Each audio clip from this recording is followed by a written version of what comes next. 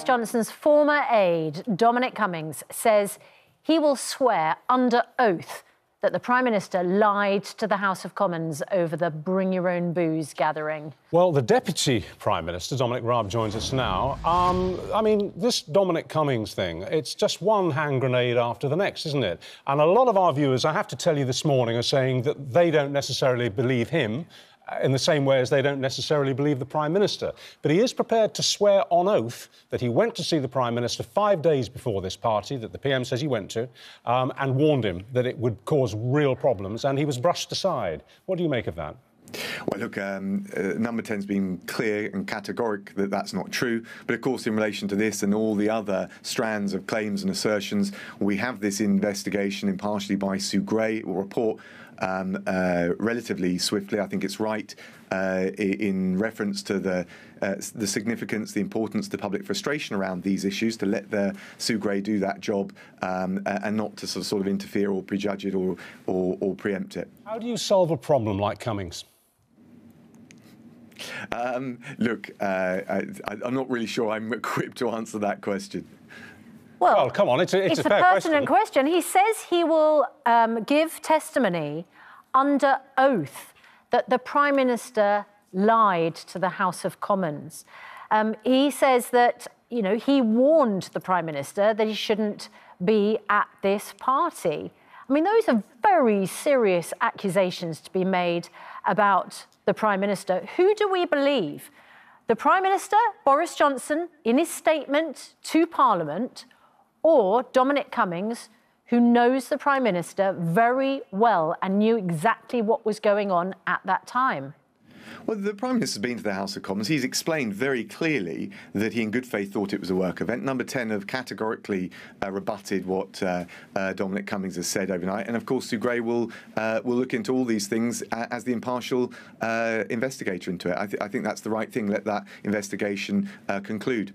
OK, so hang on. Dominic Cummings has called Boris Johnson a liar.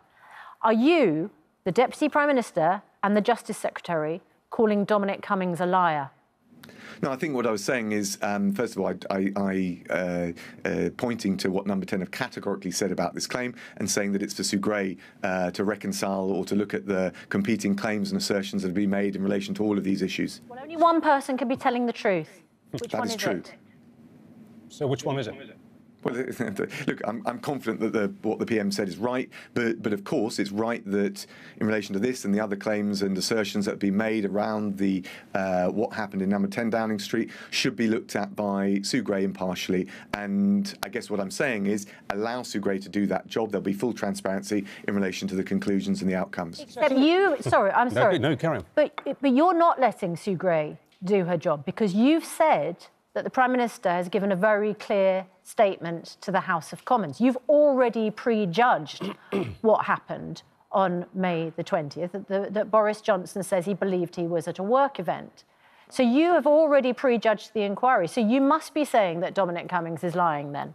No, it doesn't follow at all. I'm pointing to the, what is true as a matter of fact, which is the PM has made that statement to the House of Commons, and then saying in relation to all the claims and the uh, assertions that Sue Gray is the right person to um, to, to impartially investigate, and that we'll get the answers and the transparency very shortly. Setting aside who's telling the truth and who's lying, uh, and I wonder, actually, as the days drift by, if we'll ever get to the bottom of it.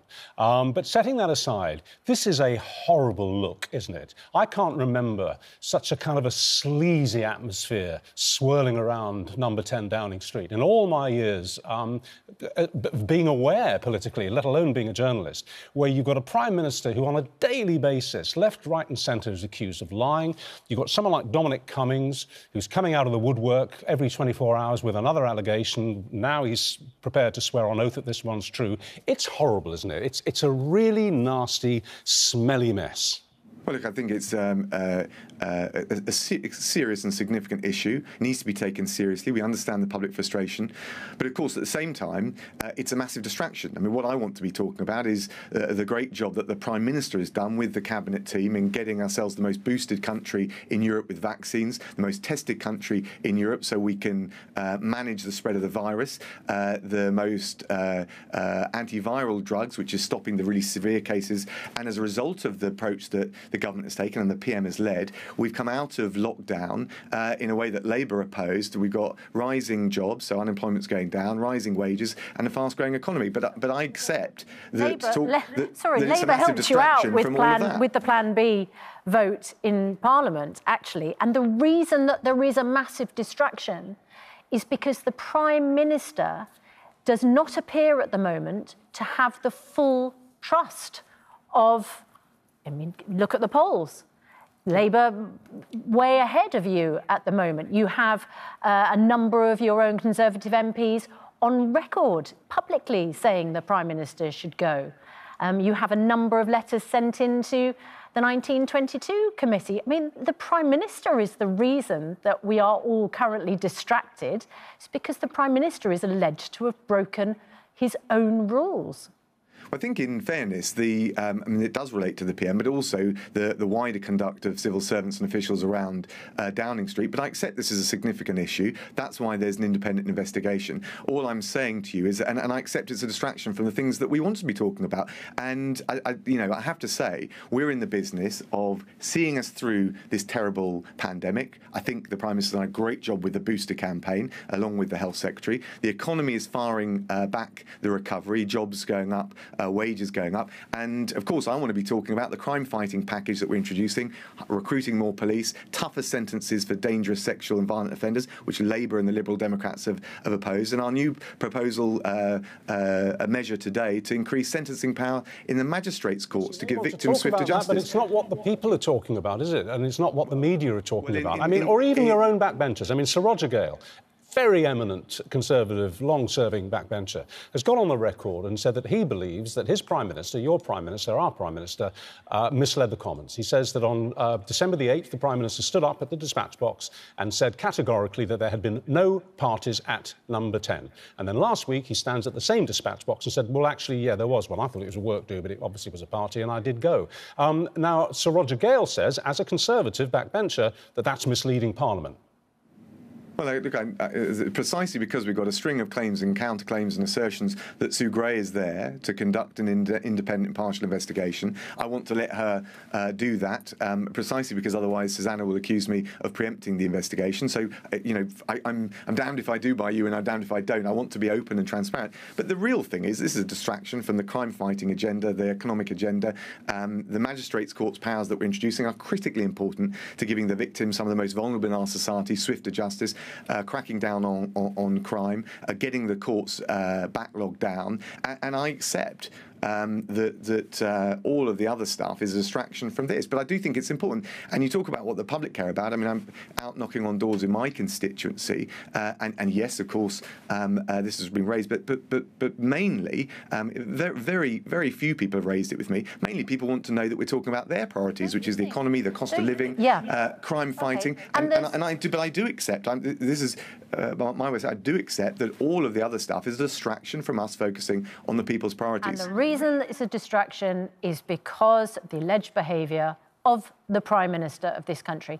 And you're the Justice Secretary. So if Sue Gray finds that the Prime Minister has broken the rules, should he resign? So, Susanna, you started by saying I shouldn't preempt the investigation. I'm not going to do that, and I'm not going to uh, start giving judgments on hypothetical questions. It's just not, I mean, in your own terms, that's not the right thing for me to do. What I am focused on is uh, the work we're doing to drive up um, the prosecutions of What uh, should the, perpetrators. consequence? What's the point of an inquiry if we don't know what the consequences would be? What should the consequence be? Well, there'll be a, a full transparency in terms of the outcome. Uh, the Prime Minister will report, uh, as he said he will, give a statement, report back uh, to Parliament, uh, and, um, and and there are a whole range of rules. The the cabinet code, uh, the, the cabinet code uh, for, for ministers, which include including uh, the Prime Minister, and ultimately the, the, the accountability that the, the voters give us, um, and that is the sharpest of all. So he won't. So if he's found to have broken the rules, one of the consequences is not that he would resign. Is that what you're saying? I, I, I'm going to heed your earlier advice not to get drawn into preempting the outcome of the investigation. You All right, said it, and I, quick- and I agree with you. One quick question before we, we let you go. Um, have you seen the Prime Minister recently? Uh, he's completely vanished. No, I've seen him, and uh, um, uh, I'll be attending cabinet um, uh, shortly, uh, and I'll see him in person. Okay. And, and I know you don't want to prejudge any investigation, so I'm going to ask you it as a completely neutral hypothetical. If a Prime Minister mm-hmm. is found to have lied to Parliament, would you expect them to resign? Oh, look, the Cabinet Code of Conduct is clear, and I believe in upholding it. So is that a yes? That Yeah, has to I be a think if you lie to, par- I mean, the, the, uh, look, the the, the, the the the rules are set out very clearly in relation to this. You shouldn't mislead Parliament. Uh, you certainly shouldn't lie deliberately, uh, mislead Parliament um, uh, without correcting it immediately if you become aware of facts that change. Or, uh, and absolutely, the code of conduct is critically important. I take it very seriously. I think the integrity of what we do, uh, those of us who hold high office, is incredibly important for the trust of the public. And I get, I understand the frustration that people feel about this. Okay, so if a Prime Minister is shown to have lied to Parliament, he should resign. He should resign. That that is clearly uh, the case under the uh, uh, the Code for Ministers. Okay, good. We got All a clear answer there. Justice Secretary Dominic you. Raab, thank you for your time this morning. Thank you.